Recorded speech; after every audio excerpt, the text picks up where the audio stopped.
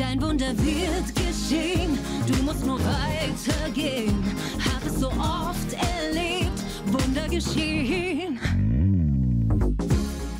Bei meinem letzten Friseurbesuch wollte plötzlich eine andere Dame als die, die sonst meine Haare wäscht, diesen Teil übernehmen. Und ich merkte, dass ihr etwas auf der Seele lag. Deswegen sah ich sie direkt an und fragte, Erzähl mir was aus deinem Leben. Was bewegt dich? Es kam wie aus der Pistole geschossen.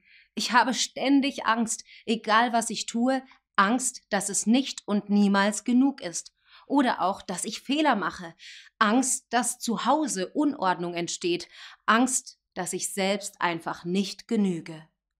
So schnell, wie sie mir diese Antwort gab, war mir klar, darüber hatte sie sich schon viele Gedanken gemacht.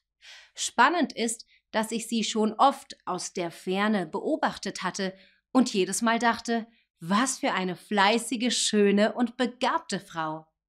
Doch spannend war auch, dass sie meine Nähe suchte und mir all das erzählen wollte, denn ehrlich gesagt hatte ich an diesem Tag beim Friseur auch von meinen eigenen aktuellen Schwierigkeiten berichtet, weil das gerade eine sehr turbulente Zeit für mich gewesen war.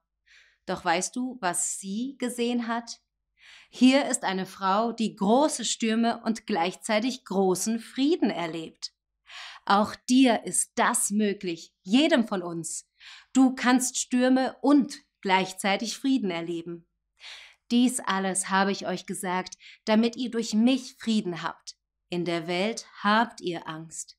Hier steht eben, in der Welt habt ihr Angst. So ist es einfach.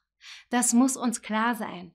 Doch in genau dem gleichen Vers steht auch, all das habe ich dir gesagt, damit du, während du auch mal Angst hast, gleichzeitig auch Frieden hast.